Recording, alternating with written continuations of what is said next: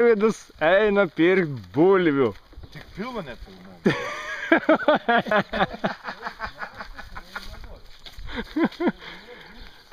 Biržuose pritrukom bulvių. Einam maišą, maišą. Maišiukas neblogas, toks žiūrėsim, kas čia gausis. Čia kaip, tas, kaip jį ten vadinote, žurnalistinis tyrimas bus. Nu, reakcija. Aš su, va, su pižama, ne, nu, pusiau su pižama. Arvidas, kur žinot, iš Airijos sakys.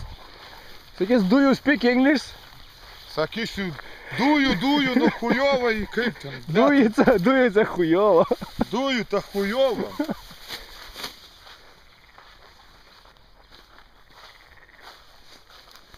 Nu, pirmas namas. Galvos, tikėkime, nieks nepraskels.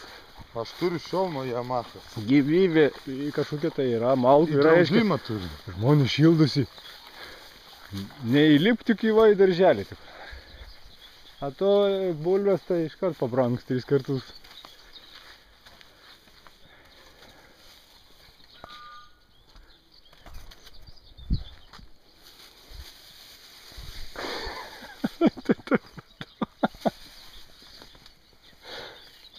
Labą dieną, ponė.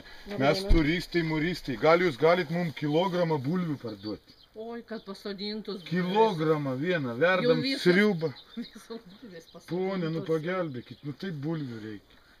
Pasodintos. O nežinot, kas turi, ponė? Nu, nežinau. O tai gal jau yra daržas pasikas? Nėra dar? Kur sodinot, mes pasikasėm? O ten pas anos anegel kaimynai turi ten. Kur yra? Sodyba. Ten, va ten viena pusė. Ne, va čia už kelio. Už kelio. Nu, Gerai, ačiū. Einam. Einam. Nieks nepavyko. Bet tai ką valgai, jeigu tu paskutinis pasakai? Malkas valgo tikriausiai. Taigi bulvė toks įseinam, supranti. Nu jo. Dalyks į kurvą, į Nu, sriubą. gal irgi nusipirka. Ainam braškių tada pasiskint. Nedavė bulvių, na. Braškės, kas, braškės skena, tai žinai, tas tos šaudo.